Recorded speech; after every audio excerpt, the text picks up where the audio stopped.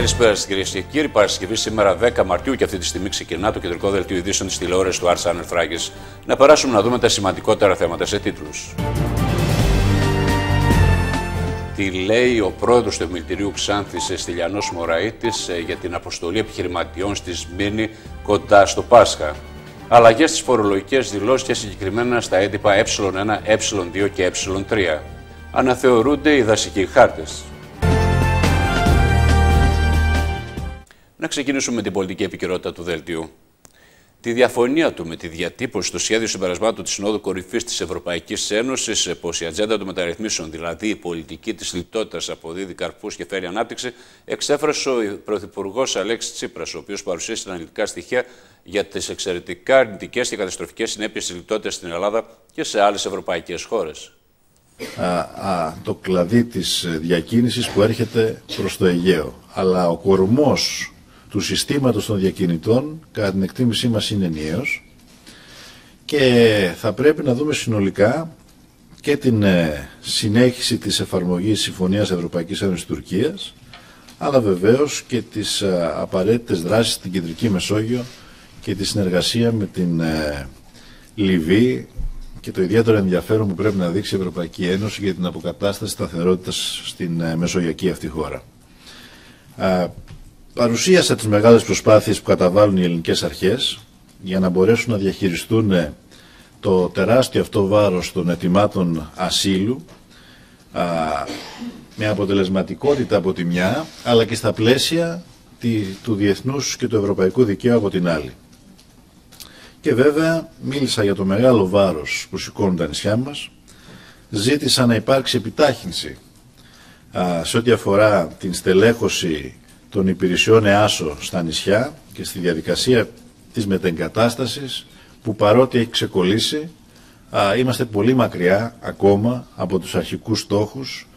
Είχαμε ε, για 60 περίπου χιλιάδες και έχουν γίνει γύρω στις 12 όχι πάντοτε εύκολη, διαφωνίες είναι δεδομένες, αλλά ειλικρινή και έντιμη επικοινωνία και είναι αλήθεια ότι ζήτησα από το Διεθνές Νομισματικό Ταμείο να ξεκαθαρίσει τη στάση του, να μην σπαταλάει το χρόνο, να κρατήσει μια σταθερή θέση και να δεσμευτεί ότι με βάση τις, ε, τα πρότυπα, τα τεχνοκρατικά που απαιτούνται για να συμμετάξει στο ελληνικό πρόγραμμα, είναι απαραίτητες ε, συγκεκριμένες κινήσεις για την ελάφρυση του ελληνικού δημόσιου χρέους.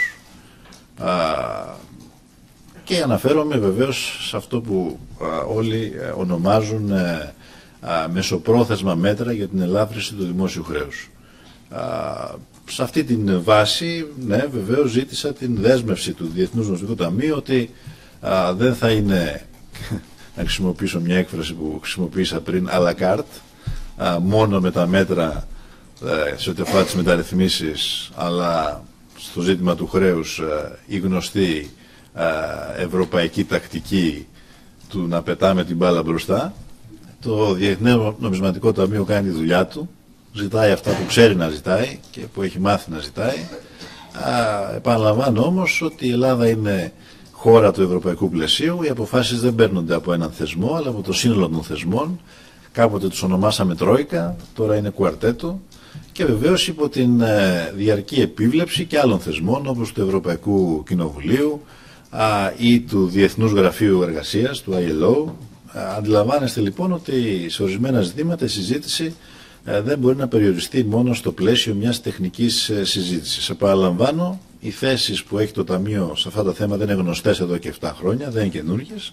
Στο Eurogroup Group επιβεβαιώθηκε σημαντική πρόοδο για την ολοκλήρωση της δεύτερης αξιολόγησης, ενώ έγινε αναφορά και στα θετικά μέτρα που έχουν συμφωνήσει οι δύο πλευρές, ανέφεραν πηγές του Υπουργείου Οικονομικών μετά την ολοκλήρωση της τηλεδιάσκεψης στα μεσάνυχτα της Πέμπτης. Δημοσιεύτηκαν στην εφημερίδα της κυβέρνησης τα νέα έντυπα ε1, ε2 και ε3 των φετινών φορολογικών δηλώσεων που θα υποβάλουν οι φορολογούμενοι για τα εισοδήματα που απέκτησαν το 2016. Στο βασικό έντυπο Ε1 που θα υποβάλουν όλοι οι φορολογούμενοι περιλαμβάνονται αλλαγές ενώ υπάρχουν και νέοι κωδικοί σε σχέση με πέρσι και αφορούν αλλαγές που έχουν γίνει στη φορολογική νομοθεσία. Τις αποφάσεις των νέων εντύπων υπόγραψε ο διοικητής Ανεξάρτητης Αρχής Δημοσίων Εσόδων Γιώργος Πιτσιλής, ενώ σύμφωνα με το προγραμματισμό του Υπουργείου Οικονομικών η ηλεκτρονική πύλη του τάξης για την υποβολή των δηλώσεων αναμένεται να ανοίξει στις αρχές Απριλίου.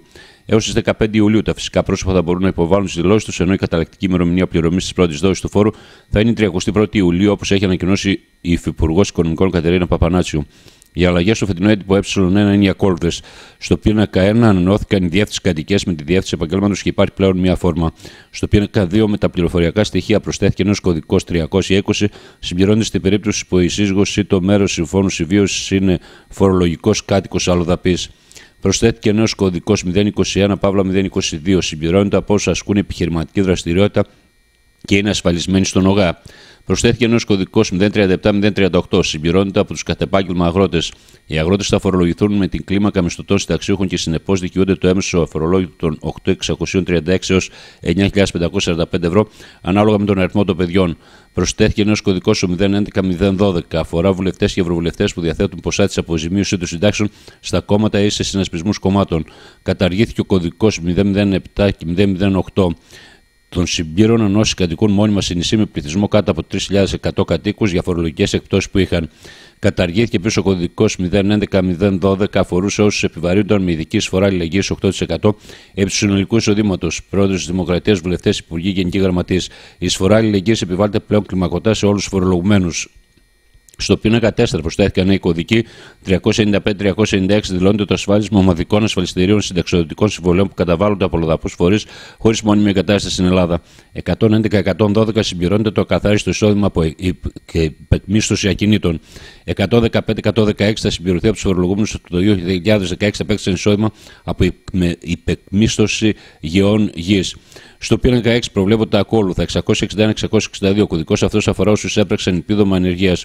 Εκτός από το επίδομα ανεργίας του ΟΕΔ, περιλαμβάνονται και τα επιδόματα ανεργίας που χορηγούν το Ταμείο Ναυτικών και το Ταμείο Δημοσιογράφων. Τα επιδόματα ανεργίας που καταβάλλονται στους δικαιούχους δεν φορολογούνται, εφόσον το άθροισμα των λοιπόν εισοδημάτων του άνεργου δεν υπερβαίνει ετησίως τις 10.000 ευρώ. 421-422 συμπληρώνονται τα ενίκια που καταβάλλονται σε ιερές μονές Αγίου Όρους. 055-056 ο κωδικός αυτός αφορά όσους χρηματοδότησαν το 2016 πολιτικό κόμμα ή συνεσπισμό. Ιδιωτική χρηματοδότηση στο κομμάτι μέχρι του ποσού των 20.000 ευρώ εκπίπτει εξ ολοκλήρου από το εισόδημα του φορολογούμενου. 057-058. Συμπληρώνεται από όσους έχουν χρηματοδοτήσει υποψήφιο ή και ερετό αντιπρόσωπο της Βουλής των Ελλήνων και του Ευρωπαϊκού Κοινοβουλίου. Η ιδιωτική χρηματοδότηση μέχρι του ποσού των 5.000 ευρώ εκπίπτει εξ ολοκλήρου από το εισόδημα του φορολογούμενου. Έντυπο 2. Εισοδήματα από ακίνητα. Στο έντυπο 2 θα δηλωθούν τα εισοδήματα από ακίνητα αλλά και τα ανίσπρακτα ενίκια. Ειδικότερα για τη συμπλήρωση της στήλης τέρα σέρα θα γίνεται επιλογή της κατηγορίας του δηλούμενου ακινήτου σύμφωνα με την ακόλουθη κατηγοριοποίηση των ακινήτων που ισχύει για τη συμπλήρωση του εντύπου Ε9. Κατοικία, μονοκατοικία, επαγγελματική στέγη, κόπεδο, αποθήκη, θέση στάθμευσης, σταθμός αυτοκίνητο, ΔΕΛΤΑ, βιομηχανικό κτίριο, ξενοδοχείο, νοσηλευτήριο, εκπαιδευτήριο, αθλητική εγκατάσταση, άλλο κτίριο, παραδείγματος χάρη θέατρο, κινηματογράφος, μουσείο, αγροτεμάχιο, άλλη χρήση. Οι στήλες 13, 14 και 15 συμπληρώνονται με το καθάριστο εισόδημα των ακινήτων που αναλογεί στον υπόχρεο κατά κατηγορία όπως εμφανίζεται στους τίτλου των στυλών. Στις στήλες αυτές συμπληρώνονται και τα ανίσπρακτα εισοδήματα από εκμίσθωση ακίνητης περιουσίας που δηλώθηκαν στο προηγούμενο φορολογικό έτος στους κωδικούς 125-126 και εισπράχθηκαν κατά το έτος 2016. Η στήλη 16 συμπληρώνονται τα ποσά των ανίσπρακτων εισοδημάτων από την εκμίσθωση ακίνητης περιουσίας εφόσον έως την προθεσμία υποβολής της ετήσιας δήλωσης φορολογίας εισοδήματος έχει εκδοθεί σε βάρος του μισθωτή διαταγή, πληρωμής διαταγή απόδοση μίσθιου ή δικαστική απόφαση αποβολής αποβολής ή επιδίκασης μισθωμάτων ή έχει ασκηθεί εναντίον του μισθωτή αγωγή αποβολής ή επιδίκασης μισθωμάτων. Στη στήλη 17 συμπληρώνεται το είδος μίσθωσης και η χρήση του ακινήτου, καθώς και ανίσπρακτα εισοδήματα όπως αυτά προκύπτουν από την κατηγοριοποίηση των στυλών 13, 14, 15 και 16.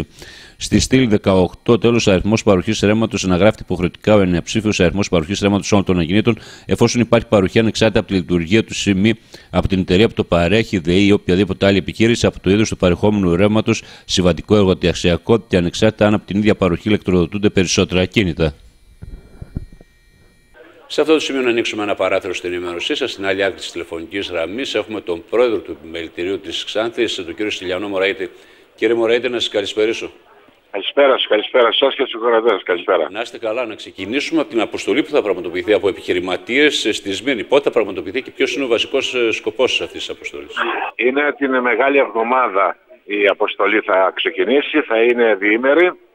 Ε, θα, μπουν, θα γίνει μια επιχειρηματική αποστολή προκειμένου να γνωριστούμε με επιχειρηματίες τη Σμύρνη καθώς επίσης και με τα επιμελητήρια εκεί της περιοχής, εκδοτημένες και της περιοχής. Έχουμε, μας έχουν επισκεφτεί και από εκεί ε, σε διάφορες περιόδους επιχειρηματίες και θέλουμε και εμείς να ανταποκριθούμε προκειμένου να βρούμε κοινά συμφέροντα για να απλώσουμε επιχειρηματικές δράσεις. Σημαντικές συναντήσεις σε δύσκολες εποχές θα λέγαμε. Ακριβώς. Ακριβώς. Ακριβώς. Μάλιστα, όσον αφορά το επιμελητήριο του Ξάνθης τώρα, ποιοι είναι οι φετινοί του στόχοι αλλά και τι προβλήματα αντιμετωπίζετε; Κοιτάξτε, τα προβλήματα που αντιμετωπίζουμε όχι εμείς σαν επιμελητήριο αλλά τα μέλη τα οποία εκπροσωπούμε Μάλιστα. είναι το κυριαρχικό είναι οι φόροι, είναι οι εισφορές, το παρεμπόριο, το λαθρεμπόριο το οποίο στην περιοχή μας έχω πει εκατοντάδες φορές παντού ε, ότι είναι το μεγαλύτερο πρόβλημα και η μεγαλύτερη πληγή της επιχειρηματικότητας στην περιοχή μας.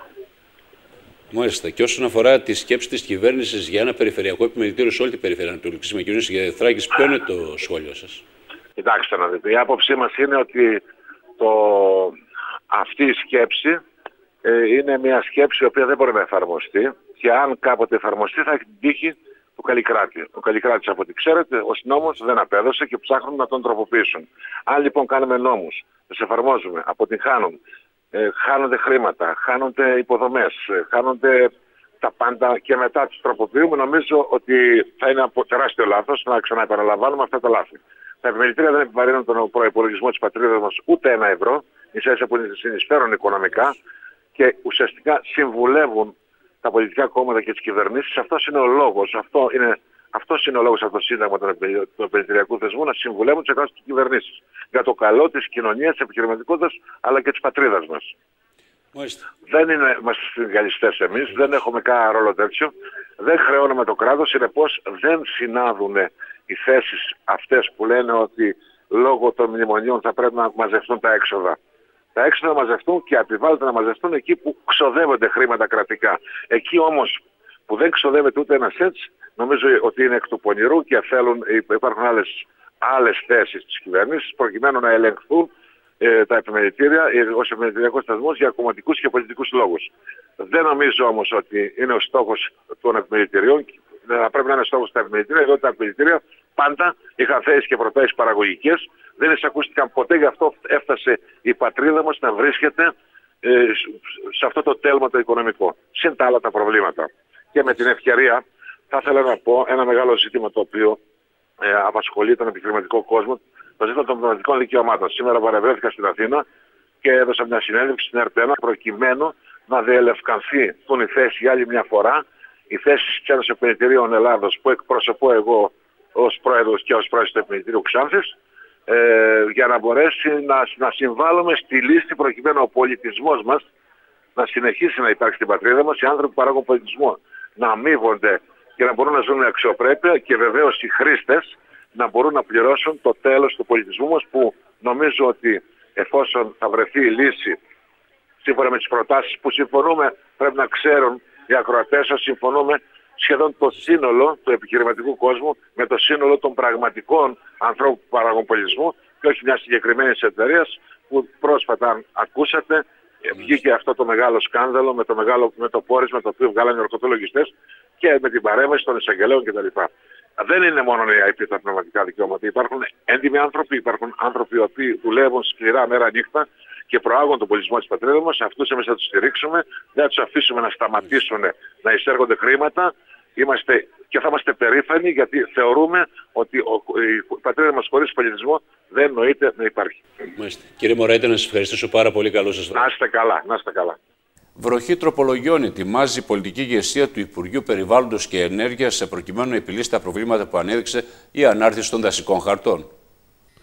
Ήδη το επιτελείο του αναπληρωτή Υπουργού Σοκράτη Φάμελου έχει επεξεργαστεί τα νομοθετικά κείμενα τα οποία αναμένεται σύντομα να προωθηθούν προς ψήφιση στη Βουλή προκειμένου να ξεθυμάνει ο καπνός από τις φωτιές που άνεψε στον αγροτικό κόσμο η ανάρτηση των 33 χαρτών στις αρχές του χρόνου. Κύριος στόχος είναι να μην εξαιρεθούν από τις ενισχύσεις εκατοντάδες χιλιάδες στρέμματα επιδοτούμενων εκτάσεων οι οποίες εμφανίζονται πλέον ως δασικές. Η πρώτη ρύθμιση σύμφωνα με στελέχη του Υπουργείου θα αφορά το τα παρανόμως αχαιοσωμένα. Η σκέψη είναι να απλοποιηθούν οι διαδικασίες για την εξαγορά τους όπως ορίζονται από τους νόμους 4280 του 2014 και 4315 του 2014. Το τίμημα για όσε δασικές εκτάσεις εκκερσώθηκαν έως την 7η Μαρτίου 2003 2017, χωρίς να έχει εκδοθεί σχετική άδεια της αρμόδιας δασικής αρχής προκειμένου να κληρηθούν, έχει οριστεί στο 1 τρίτο της αντικειμενικής ή της αγοραία αξίας που κατατίθεται υπέρ του ειδικού φορέα δασών του Πράσινου Ταμείου. Άλλωστε, ο Υπουργός Αγροτικής Ανάπτυξης Βαγγέλης Αποστόλου έχει διαμηνήσει σε όσους έχουν παρανομήσει ότι δεν θέλουν σε καμία πρέπει να χρησιμοποιηθεί ο αγροτικός χώρος ως πρόσχημα για να αποχαρακτηριστούν εκτάσεις που είναι πραγματικά δασικές. Όπως έχει τονίσει ο ίδιος, κάθε αποχαρακτηρισμός ενδέχεται να μεταβληθεί σε εργαλείο επιβράβευση των καταπατητών. Πάντως για τις δασικές εκτάσεις που είχαν νομίμω εκχυρσωθεί και μετατραπεί σε γεωργικέ εκμεταλλεύσεις, ετοιμάζεται εγκύκλιο από το ΙΠΕΝ προκειμένου το ζήτημα να λύνεται άμεσα από τις δασικές υπηρεσίες χωρίς να υποβάλλονται αντιρρήσεις. Η δεύτερη ρύθμιση θα αφορά στα πρόδειλα ασφάλματα. Σαφής πρόθεση της κυβέρνησης είναι τα συγκεκριμένα προβλήματα να επιληθούν άμεσα από τις αρμόδιες υπηρεσίες χωρίς να υποχρεώνει το πολίτης στην υποβολή αντίρρησης, άρα και στην καταβολή του σχετικού τέλους, το οποίο αυξάνεται κλιμακωτά από 10 έως 3.300 ευρώ ανάλογα με την έκθεση του οικοπαίδου. Ωστόσο, αν έχει υποβληθεί αντίρρηση μη περιεχόμενο που την εντάσσει σε κατηγορία του πρόδειλου ασφάλματος, το καταβληθέν τέλος θα επιστρέφεται στο δικαιούχο. Στα πρόδειλα ασφάλματα, μεταξύ άλλων, εντάσσονται η εκπαραδρομή παραλήψης της αποτύπωσης μιας σαφώς αγροτικής έκθεσης ως δασικής, η απόδοση τεχνικών δασικών φυτιών ω δασικών εκτάσεων και οι εμφανώς λανθασμένες απεικονίε αγροτικής έκθεσης ω δασική.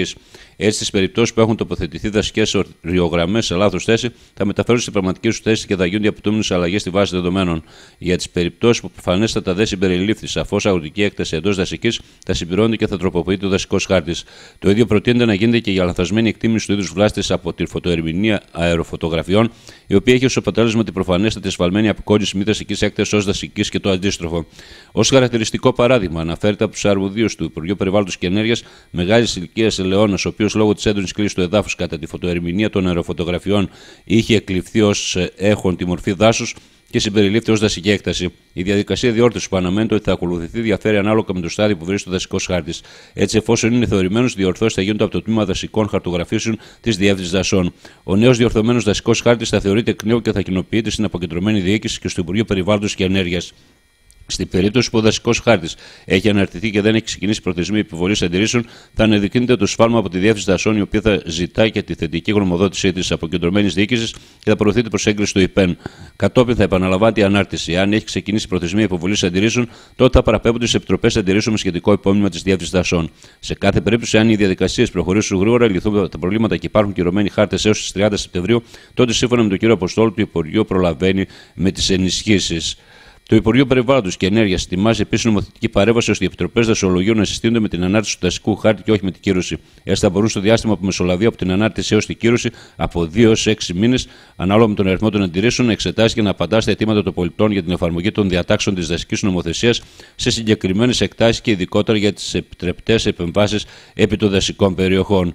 Παράλληλα, ετοιμάζεται και νομοθετική ρύθμιση, η οποία θα ακολουθήσει την εγκύκλιο που είχε εκδώσει στις 23 Φεβρουαρίου ο κ. Φάμλος, προκειμένου να εξαιρούνται από τις αναδεσωτέ περιοχές, άρα και από την ανάρτηση των δασικών χαρτών, οι γεωργικές εκτάσεις που είχαν περιληφθεί σε αυτές και δεν είχαν δασικό χαρακτήρα βάσει των αεροφωτογραφιών του 1945 και του 2008. Σε αυτό το σημείο να ανοίξουμε ένα παράδοση στην ενημέρωσή σας. Ε, καλεσμένη εδώ στο κεντρικό δελτίο ειδήσεων της τηλεόρασης του Άρτσα Ανεφράκης, η κυρία Βιβία Χατζηγεωργίου, πρόεδρος του Συλλόγου ε, Βυζαντινού Φρουρίου Κομωτινής, καθώς και ο μουσικός ο Χρήσο Χατζόπουλος. Να σας καλησπέρισω. Καλησπέρα σας, κύριε. Άρα, ο θεσμός συνεχίζεται να αρχίσουμε με εσάς, κυρία Χατζηγεωργίου, ε, τα χελιδονίσματα. Πότε θα γίνουν, θα μας πει και ο Χρήσο βέβαια το πρόγραμμα, ακολούθως, σας ακούω. Ε, τα χειριδονίσματα φέτος γίνονται στις 17, πραγματοποιούνται 17 Μαρτίου. Ε, στις 10.30 ξεκινάμε τα δημοτικά, ο σύλλογος ε, με τα δημοτικά, ε, φυσικά και το μουσικό σχολείο ε, προηγείται με τα κάλαντά του. Ε, προηγουμένως όμως ε, το μουσικό σχολείο με κάποιες κυρίες του Συμβουλίου θα, βγουνε, θα ξεκινήσουν 8.30 ώρα. Θα, κάνουν, θα τα πει καλύτερα ο κύριος Χατζόπουλος στη συνέχεια. Θα γυρίσουν στους δρόμους της Κομωτινής, σε υπηρεσίες της Κομωτινής και στο τέλος του 10.30 ξεκινάμε πίσω από την οδό γρηγορά, είναι πίσω από το Βυζαντινό Φρούριο. 10 και 30. Κύριε Χατζόπουλο, να έρθω σε εσάς. Πρωί-πρωί βέβαια θα ξεκινήσετε όπως πάντα και πέρσι το ίδιο έγινε, ένας θεσμός όπως είπαμε, από το μουσικό σχολείο. Σας έχω. Ο στόχος μας είναι ότι φέτος να ξεκινήσουμε το πρωί, αν καταφέρουμε στις 8.30 σε 9 παρά, να διασχίσουμε τους δρόμους, ε, ε, να περάσουμε μπροστά από το, ε, από το 10ο Δημοτικό, μετά από το Θέατρο, να φτάσουμε στη στην Πριτανία, από εκεί στην περιφέρεια, στο Δημαρχείο, ε, στην Ερμού, ε, στην ε, Δημοτική Αγορά και στην πλατεία Αρχιεπισκόπου Χρυσάνθου και να έρθουμε στο Φρούριο. Εκεί θα είναι τα υπόλοιπα σχολεία και από εκεί θα συνεχίσουμε πίσω από το Φρούριο, από το, το τείχος της πόλης, θα διασχίσουμε την Βενιζέλο και θα καταλήξουμε στο γύρω στις 11-11.30 στην κεντρική πλατεία της Κομωτινής, όπου τα παιδιά θα μπορούν να, να χορέψουν, να παίξουν, να παίξουν Θα υπάρχουν και αρκετές διαφορετικές δραστηριότητες φέτος, όπως παιχνίδια, ε, ζωγραφική, ε, κατασκευές. Ε, θα μας βοηθήσει σε αυτό. Έχουν μπει και καινούργιοι άνθρωποι σε αυτό το, σε αυτό το θεσμό, στις γιορτές της Άνοιξης που λέμε. Ε, η Χρύσα Ιωαννίδου, η Άρτιμη Ζουτσολάκη, ε, πολλοί άλλοι καλλιτέχνες της πόλης και οι φορείς. Ε, να ευχαριστήσουμε και τη ΔΚΕΠΑ για τη στήριξη. Μάλιστα, για άλλη μια φορά λοιπόν, ε, χορηγό και η ΔΚΕΠΑ του Δήμου Κομωτινής. Κυρία Γεωργίου, χαρά των παιδιών τέτοιες εκδηλώσεις. Τι βαθύτερα μηνύματα στέλνουν; Οι ηλικίες και η εποχή που γίνονται αυτά είναι αισιόδοξες. Είναι μικρά παιδιά, αισιόδοξα, έχουν τη ζωή μπροστά τους η Άνοιξη από μόνη της είναι μια αισιόδοξη εποχή. Ε, χαιρόμαστε, περιμένουν τα παιδιά πραγματικά κάθε χρόνο με λαχτάρα και όπως είπε και ο κύριος Χατζόπουλος, φέτος η γιορτή θα είναι πραγματική η ανοιξιάτικη γιορτή γιατί πέραν το, από τη μουσική του κυρίου Χατζόπουλου που θα ακουστεί τα κάλαντα, η παρουσία πολλών παιδιών, ε, ανέλαβαν ε, οι κυρίες, η κυρία Χρύσα Ιωαννίδου που είναι θεατροπαιδαγωγός, η Άρτεμι Σουτσολάκη, πολλά, ε, πολλές εθελόντριες, εθελοντές που θα, χωριστούν, θα χωρίσουν τα παιδάκια σε ομάδες, θα κάνουν διάφορες δραστηριότητες, ανάλογα με την ηλικία οι ομάδες θα χωριστούν. Φυσικά και από μέρους μου, από μεριά μου, να ευχαριστήσω την κυρία Λιβεριάδου, πρόεδρο της ΔΕΚΕΠΑΚ, που πάντα στηρίζει τέτοιου είδους δρόμενα και εκδηλώσεις. Ένα δρόμενο που ξεκίνησε το 2003 από το Σύλλογο Βυζαντινού Φορείου φυσικά και με τον κύριο Χατζόπουλο, ο οποίος έχει μελοποιήσει τους στίχους ε, του τραγουδίου που ακούγεται.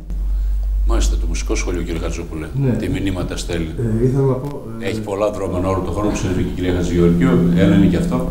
Ήθελα να πω, καταρχήν από το μουσικό σχολείο ξεκινάει όλη αυτή η προσπάθεια, τις φωνές των παιδιών και από το κουράγιο τους να περπατήσουν και όλα αυτά τα χιλιόμετρα, να τραγουδήσουν. Χωρίς αυτά δεν θα κάναμε και πολλά πράγματα. Φυσικά και από όλα τα παιδιά των δημοτικών σχολείων. Ε, εγώ θα ήθελα να πω και τη συνέχεια του προγράμματος. Ναι. Ε, ε, για πρώτη φορά φέτος συμμετέχει και το Πανεπιστήμιο, το Τμήμα Ελληνικής Φιλολογίας με την ποιητική σημερία ε, στο καφέ Γκέκο, την, ε, την Παρασκευή 17 Τρίτου στις 8 η ώρα. Ε, οι φοιτητές θα απαγγείλουν ε, ποίηματα με συνοδεία μουσικών οργάνων ε, και έτσι θα κλείσει η πρώτη μέρα. Η δεύτερη μέρα τώρα το Σάββατο θα κάνουμε μια επέθρια πρόβα στα πλατανάκια του οικισμού Φωλιάς ε, εκεί που πηγαίναμε κάποτε εκδρομή τα πιο πολλά σχολεία με τα παιδιά του μουσικού εργαστηρίου Νότα να παίξουν υπαίθρια κάτω από τις αμυγδαλιές, κάτω από τα πλατανάκια. Μάλιστα. Θα συνεχίσουμε ε, το απόγευμα ε, νυχτε, νυχτερινή πορεία με τους παιδικούς σταθμούς της Κομωτινής από τις 7 η ώρα από την κεντρική πλατεία και θα καταλήξουμε στο, στο Rex. Εκεί τα παιδιά θα μπορούν να ακούσουν μουσική από το μουσικό εργαστήρι νότα και να, θα μπορέσουν να δουν την παράσταση που είναι για τα παιδιά ε, ο μικρός πρίγκιπας. Μάλιστα, και θα κλείσουμε ένα τελευταίο, είναι αρκετά φέτος. Με την αναβίωση της αρχισμένη αμυγδαλιά ε, στις 9 η ώρα στη Λέση Κομωτινό, πάει το Σάββατο το βράδυ από την Φιλόπτωχο. Μάλιστα. Όλες αυτές οι εκδηλώσει ενδιαφέρουσες σίγουρα. Και μια που αναφερθήκατε για το εργαστήριο την ώρα, να τελειώσουμε σας κύριε Χατζόπουλε, ε, τι καινούριο ετοιμάζετε, αν ετοιμάζετε κάτι και αν συνεχίζετε βέβαια η ζωντανή παραδοσιακή μουσική και οι συνεργασίες ε, που είχατε και έχετε φυσικά. Ε, φυσικά, συνέχεια Κάνουμε κάτι και κάποιο καινούργιο βίντεο τώρα με την άνοιξη ε, παιδιά που παίζουν όργανα έτσι στη φύση. Ε, και αυτά τα παιδιά θα συμμετέχουν φυσικά και σε αυτό το διήμερο του, της γιορτής της Άνοιξης. Μάλιστα. Να σας ευχαριστήσω πάρα πολύ και Και εμείς ευχαριστούμε. Να είστε καλά. Και εμείς ευχαριστούμε. Σε αυτό το σημείο να ανοίξουμε ακόμα ένα παράθυρο στην ενημέρωσή σας. Στην άλλη άκρη της τηλεφωνικής γραμμής έχουμε τον διευθυντή του Ξάνθη2.gr, τον εκλεκτό συνάδελφο από την Ξάνθη, τον Γιάννη τον Σιδηρόπουλο. Γιάννη, να σε καλησπερίσω. Καλησπέρα, καλησπέρα σε όλους. Επέστρεψε από την αποστολή ε, από τις Βρυξέλλες, ε, γυρνάς προς Ξάνθη. Ε, ποια είναι τα συμπεράσματα που βγήκαν από τις σημερινές. Ε, είναι πολλά που έχουν μεσολαβήσει γιατί στις Βρυξέλλες είχαμε αυτήν την πολύ σημαντική ημερίδα για τις ψεύτικες ειδήσεις, τα fake news που κυριαρχούν και υπάρχει ένας παγκόσμιος προβληματισμός. Ε, αυτό που προκύπτει προφανώς είναι ότι δεν ε, υπάρχει μέχρι στιγμής ένας αξιόπιστος τρόπος ε, για να ε, ελέγχεται, για να κοντρολάρεται και ε, για να προστατεύεται ο αναγνώστης ε, από την κατανάλωση αυτών των ψευδών ε, ειδήσεων που αποδείχτηκε ειδικά στις Ηνωμένες Πολιτείες κατά την προεδρική εκλογή ε, ότι σε μεγαλύτερο μέρος οι αναγνώστες, οι χρήστες, κυρίως στα κοινωνικά δίκτυα, γιατί πλέον από εκεί διακινείται η πληροφορία, διάβασαν περισσότερο ψευδείς ειδήσεις παρά πραγματικές. Αυτό είναι ένα σοβαρό ζήτημα. Υπάρχουν προσπάθειες, υπάρχουν σκέψεις ε, και παραδείγματα όπως η εισαγωγή στην εκπαίδευση, ένα παράδειγμα που εφαρμόζεται στη Γαλλία, ε, ως, ουσιαστικά ως ένα μάθημα αγωγής του πολίτη, δηλαδή της καλλιέργειας κριτικής σκέψης στους ε, αυριανούς πολίτες, είναι μία μέθοδος και προφανώς πρέπει η, το παγκόσμιο χωριό να δουλέψει στον τομέα της εκπαίδευσης, όμως δεν αρκεί μόνο αυτό και υπάρχει μεγάλος προβληματισμός. Κατά την δική μου άποψη και κατά την άποψη αρκετών, ε, το μεγάλο πρόβλημα είναι οι πλατφόρμες, ε, κυρίως η Facebook που διακινεί και τον ε, συντριπτικά μεγαλύτερο όγκο πληροφοριών, αλλά και η Google που καθοδηγεί μέσω του αλγορίθμου της, ε, της ειδήσεις ε, στις μηχανές αναζήτησης, ε, έχουν μια τεράστια ευθύνη. Υπάρχουν κάποιες σκέψεις, ακούστηκαν κάποια πράγματα γύρω από την ε, Facebook, αλλά απομένει να το δούμε καθώς ως διανομής και μάλιστα ολιγοπολιακή η μεγαλύτερη παγκόσμια διανομής ειδήσεων αυτή τη στιγμή έχουν ευθύνη να προστατεύουν τους χρήστες από τις ψευδείς ειδήσεις, οι οποίες πολύ συχνά, αν όχι στις περισσότερες περιπτώσεις, είτε έχουν πολιτική σκοπιμότητα, είτε ιδεολογική σκοπιμότητα, είτε ε, αναπαραγάγουν, είτε έχουν σαν στόχο να αναπαραγάγουν ε, κάποια στερεότυπα που στην περίπτωση της Ελλάδας τα γνωρίζουμε όλοι. Ε, αυτά περίπου συμβαίνουν, έχει μεσολαβήσει βεβαίως από την ε, εκδήλωση αυτή στο Ευρωκοινοβούλιο και μια πολύ σημαντική παρουσίαση που είχαμε σήμερα και από την, στην οποία επίσης ε, είχα την δική μου παρέμβαση. Πρόκειται για την παρουσίαση της ε, ε, ετήσιας έρευνας του Reuters Institute από το Πανεπιστήμιο της Εξφόρδης, ε, την ευθύνη του οποίου στην Ελλάδα έχει το τμήμα δημοσιογραφίας και μήμυε του Αριστοτέλειου Πανεπιστημίου ε, της Θεσσαλονίκης, η οποία παρουσιάστηκε σήμερα σε συνεργασία με την Ένωση Συντακτών ημερησίων εφημερίδων Μακεδονίας Τράκης, σε μια εκδήλωση που είχε πάρα πολλούς ενδιαφερόμενους και φυσικά φοιτητές του τμήματος, ε, αλλά και πάρα πολύ κόσμο από την, τον ε, ε, κλάδο των δημοσιογράφων και γενικότερα από τις ενώσεις, από τον ε, πανεπιστημιακό και τον ακαδημαϊκό χώρο ε, και στην οποία παρενέβη και ο Γενικός Γραμματέας Ενημέρωσης, ο, ο κύριος Στέτσος. Ε, αυτό που προκύπτει από την έρευνα, η οποία διαξάγεται σε 26 χώρες και για πρώτη φορά γίνεται στην Ελλάδα με την ευθύνη, με επιστημονικά υπεύθυνους τους καθηγητές του Αριστοτελείου, την κυρία Δημητρακοπούλου και τον κύριο Παναγιώτου, είναι ότι η Ελλάδα συγκαταλέγεται πλέον στις 26 χώρες του δίκτυου στο μεγαλύτερο επίπεδο διάδοσης και διεύρυνσης των κοινωνικών δικτύων ως πηγής ενημέρωσης για τους πολίτες. Αυτό είναι εντυπωσιακό, αλλά και στον χαμηλότερο ε, δίκτυ σε ό,τι αφορά στην αξιοπιστία των ειδήσεων που διαβάζουν. Όχι μόνο ως προς την αξιοπιστία, αλλά και στη σημασία που δίνει ο καταναλωτής, ο χρήστης των ειδήσεων ε, για τις ειδήσεις. Υπάρχουν πάρα πολλά συμπεράσματα και πάρα πολλά ευρήματα που δείχνουν και αποτυπώνουν σε μεγάλο βαθμό και τον ορθολογισμό που διέπει σήμερα τον Έλληνα, τον μεταμνημονιακό νέο Έλληνα που έχει διάφορες, ε, δι, ε, διάφορα ζητήματα να διαχειριστεί και δεν καταφέρει να τα διαχειριστεί με διάβγεια, αυτό είναι γεγονός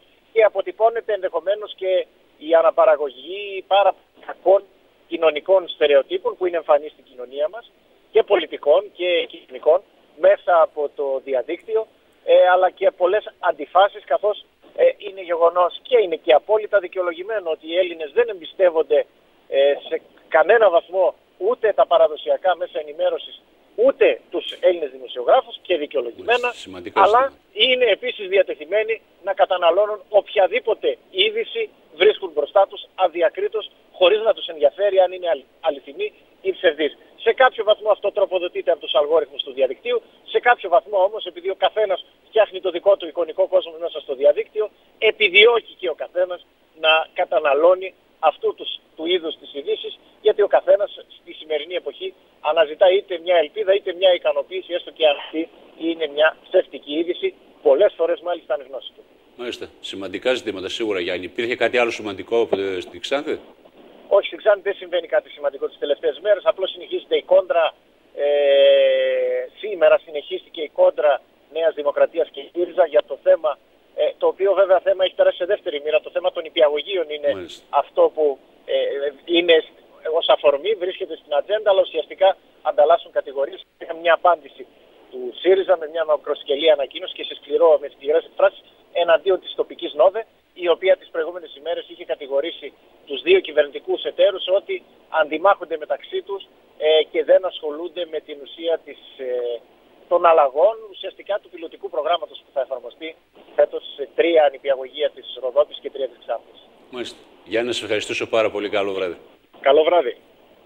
Να πάμε τώρα στη Σέρση να δούμε το ρεπορτάζ που αφορά το μεταπτυχιακό ΤΕΗ ροποτικής. Το ΤΕΗ Κεντρική Μακεδονίας και το Τμήμα Μηχανικών Πληροφορικής διοργανώνει νέο μεταπτυχιακό πρόγραμμα με τίτλο Ρομποτική, το οποίο πρόκειται να υποδεχθεί τους πρώτους φοιτητές του με την έναρξη της νέας ακαδημαϊκής χρονιάς 2017-2018. Αντικείμενο του προγράμματος Μεταπτυχιακών Σπουδών στη Ρομποτική, η παροχή εκπαίδευσης μεταπτυχιακού επίπεδου στη θεωρία και πράξη των ρομποτικών συστημάτων, όπως αυτά μελετώνται στην έρευνα και εφαρμόζονται στη βιομηχανία. Για το θέμα, μάλιστα, μίλησε στην τηλεόραση Επιλογές και στην Καλλιόπη Βασιλιά ο Διευθυντής του Μεταπτυχιακού Τμήματος Ρομποτικής Γιάννης Καλόμηρος. Το Τμήμα Μηχανικών Πληροφορικής του ΤΕΙ Κεντρικής Μακεδονίας διοργανώνει ένα νέο μεταπτυχιακό πρόγραμμα σπουδών με τίτλο Ρομποτική.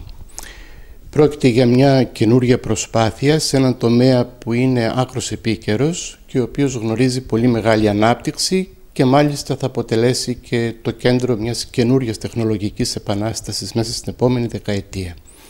Έτσι λοιπόν σκεφτήκαμε ότι είναι κρίσιμο για τους σπουδαστές μας εδώ στο ΤΕΙ Κεντρικής Μακεδονίας αλλά και τους αποφύτους άλλων ιδρυμάτων όπως το ΤΕΙ Θεσσαλονίκης και το ΤΕΙ Ανατολικής Μακεδονίας και Θράκης να έχουν την ευκαιρία να παρακολουθήσουν ένα καινοτόμο μεταπτυχιακό πρόγραμμα το οποίο θα τους εξασφαλίσει πολύ ουσιαστικές γνώσεις και για την επαγγελματική τους αποκατάσταση.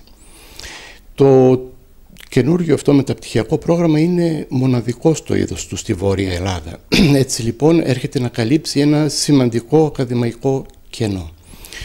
Ε, υποδέχεται αποφύτους συναφών τμήματων όπως αποφύτους τμήματων πληροφορικής, αυτοματισμού, μηχανολογίας, ηλεκτρονικής και από φύτους σχολών θετικών επιστημών.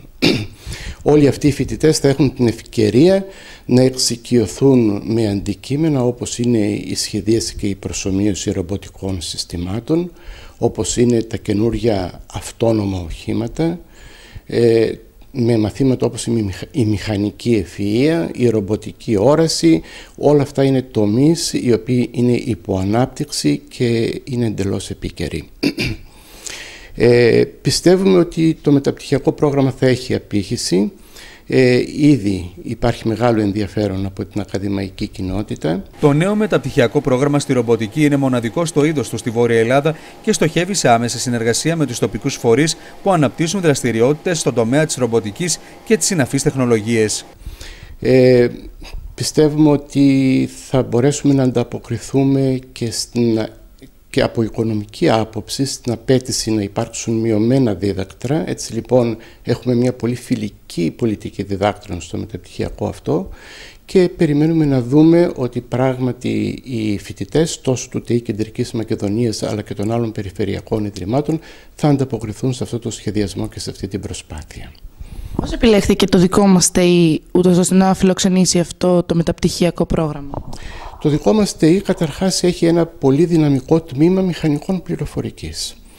Ε, επίσης στο ΤΕΙ εδώ πέρα υπάρχει και το τμήμα μηχανολογίας. Άρα λοιπόν ε, υπάρχουν όλες οι ακαδημαϊκές προϋποθέσεις έτσι ώστε να σχεδιαστεί και να αναπτυχθεί ένα τέτοιο ε, καινούριο μεταπτυχιακό πρόγραμμα. Ε, το ΤΕΙ Κεντρικής Μακεδονίας είναι κοντά τόσο στο ΤΕΙ Θεσσαλονίκης όσο και στο ΤΕΙ Ανατολικής Μακεδονίας και Θράκης. Μπορεί λοιπόν να υποδεχθεί φοιτητές και από τα δύο αυτά ιδρύματα. Και πράγματι όπως σας είπα και πριν υπάρχει ενδιαφέρον από τέτοιους φοιτητές. Ε, έτσι λοιπόν πιστεύουμε ότι καθώς μάλιστα εδώ στο ΤΕΙ ε, και στο τμήμα έχουμε και τον τομέα αρχιτεκτονικής υπολογιστών που είναι ο αρμόδιος τομέας υπάρχουν οι ακαδημαϊκές προϋποθέσεις αλλά και άλλες προϋποθέσεις ώστε να δημιουργηθεί το τμήμα. είναι περίπου το ποσό που καλούνται να πληρώσουν ουσιαστικά οι μεταπτυχιακοί; Ε, το ποσό κυμαίνεται ε, με βάση κριτήρια οικονομικά, ακαδημαϊκά από 1.500 ευρώ έως 2.700 ευρώ.